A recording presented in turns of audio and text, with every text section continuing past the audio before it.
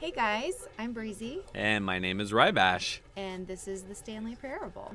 The Stanley Parable. We actually played the Stanley Parable for a second. And This lis- is the story of a man named Stanley. be right back. Stanley worked for a company in a big building where he was employee number 427.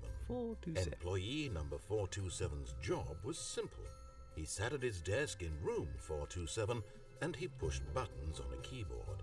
Orders came to him through a monitor on his desk, telling him what buttons to push, how long to push them, and in what order. This is what employee 427 did every day of every month of every year. And although others might have considered it soul rending, Stanley relished every moment that the orders came in, as though he had been made exactly for this job. And Stanley was happy. Oh, Stanley. And then one day, something very peculiar happened. Something that would forever change Stanley.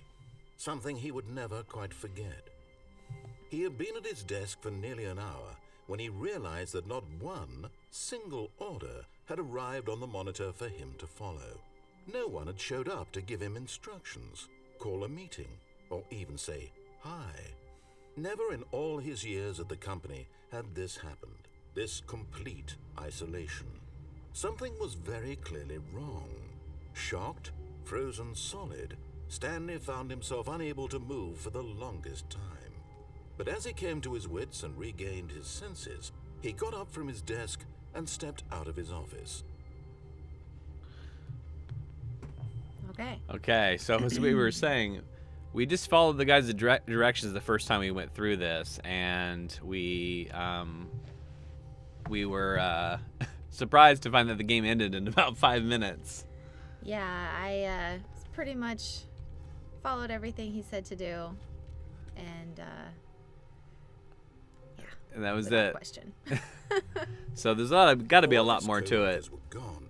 What could it mean?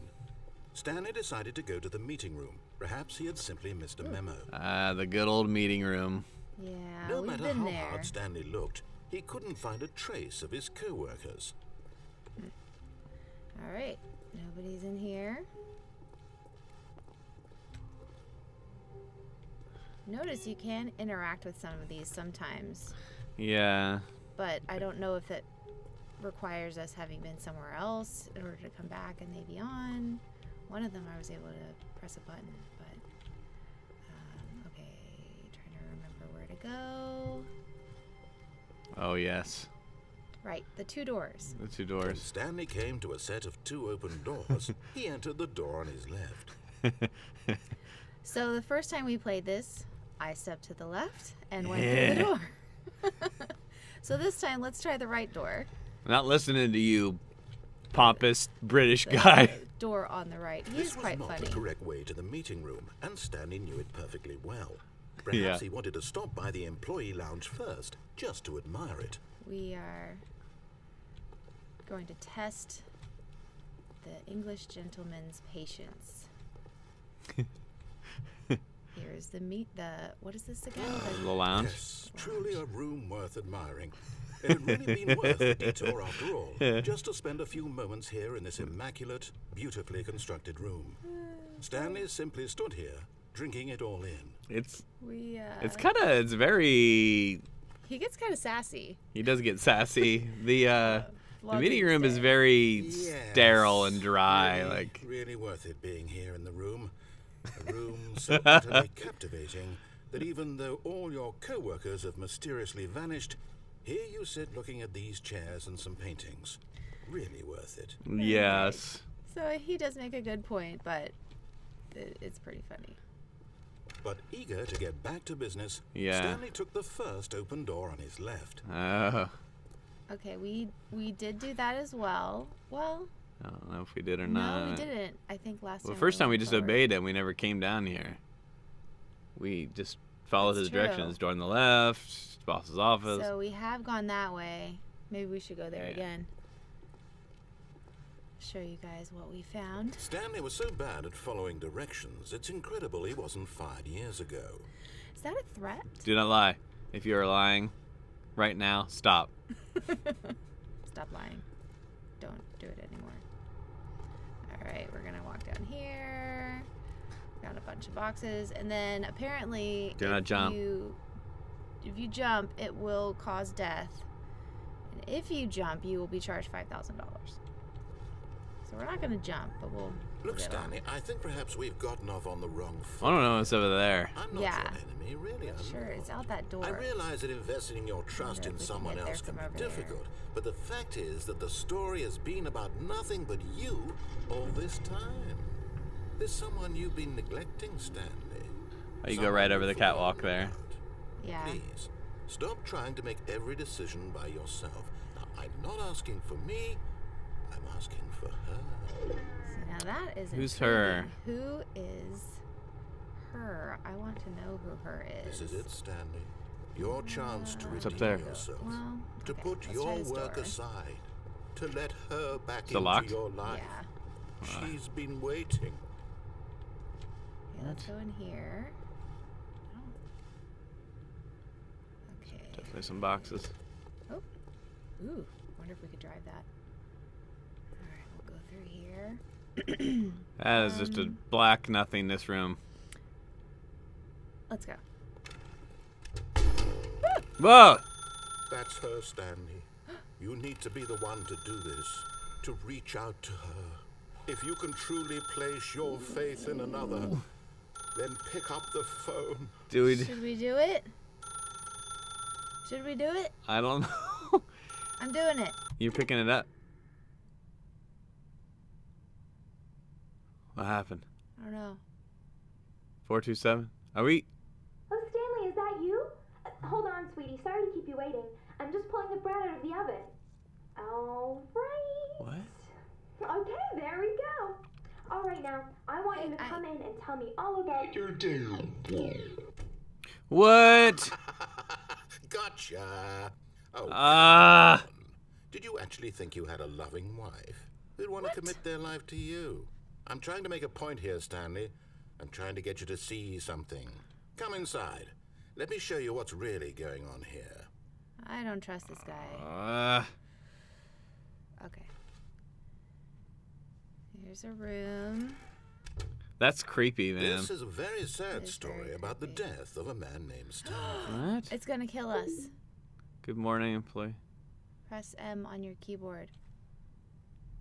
Uh, I feel like if I press M, this dummy is just gonna go all crazy on us. Stanley is quite a boring fellow.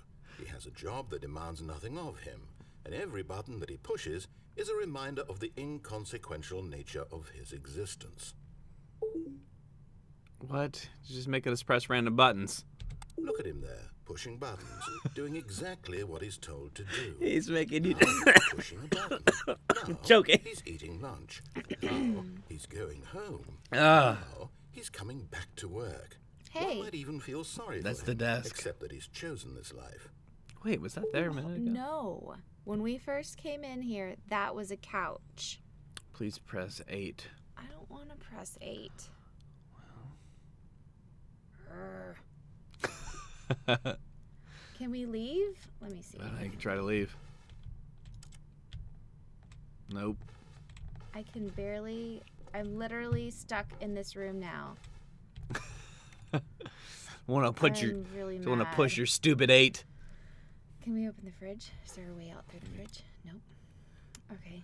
Eight it is. But in his mind, ah, in his mind, he can go on fantastic adventures. Oh god. From behind his desk, Stanley dreamed of wild expeditions into the unknown, fantastic discoveries of new lands. It was wonderful. And each day that he returned to work was a reminder that none of it would ever happen to him. I feel like the room is going to gradually change. Oh, we can watch TV No, Mm, maybe. yeah. or press E. And so he began to fantasize about his Uh. own job.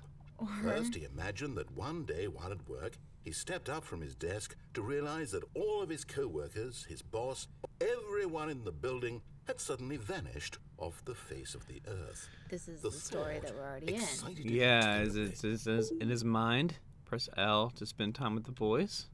So he went further. He imagined that he came to two open doors and that he could go through either.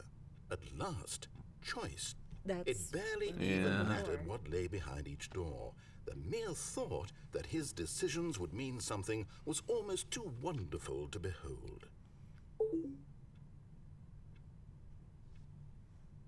As he wandered through this fantasy world, is he going to began to into fill it our with many possible paths Yeah. and destinations. Down one path lay an enormous round room with monitors and mind controls. And down another was a yellow line that weaved in many directions. And down another was a game with a baby. And he called it the Stanley Parable. Oh god. It was such a wonderful fantasy. This guy just talks forever. So in his head, he relived it again, and the then again, and again, over and over, wishing beyond hope that it would never end, that he might always feel this free. Surely there's an answer down some new path, mustn't there be? Perhaps if he played just one more time. but there is no answer. How could there possibly be? Yeah. In reality, all he's doing is pushing the same buttons he always has. Nothing has changed. The longer he spends here, the more invested he gets, the more he forgets which life is the real one. Come on. And I'm trying to tell him this that in this world he can never be anything but an observer. That as long as he remains here, he's slowly killing himself. But he won't listen to me. He won't stop. Here, watch this. Stanley, the next time the screen asks you to push a button, do not do it. Should we press the button to disobey him? I don't think we have any other choice. Which sounds funny. I don't know. I mean, we can't get out of this room. The desk is in front of that door. There's a chair here. We can't jump. There's nothing else to do. We can't interact. Oh, with so he's gonna make a point about how you didn't press the button, or, or you did press the button. that by disobeying him Yeah. and pressing the button. You see? Can he just not hear me? How can I tell him in a pretty way that he'll understand that every second he remains here, he's electing to kill himself? How can I get him to see what I see? How can I make him look at himself? I suppose I can't, not in the way I want him to. But I don't make the rules. I simply play to my intended purpose, the same as Stanley. We're not so different, I suppose. I'll try once more to convey all this to him. I'm compelled to. I must. Perhaps, well, maybe this time he'll see. Maybe this time. And I oh tried god! again. Please die. Stanley pushed a button. And I tried again. And Stanley pushed a button. And I tried.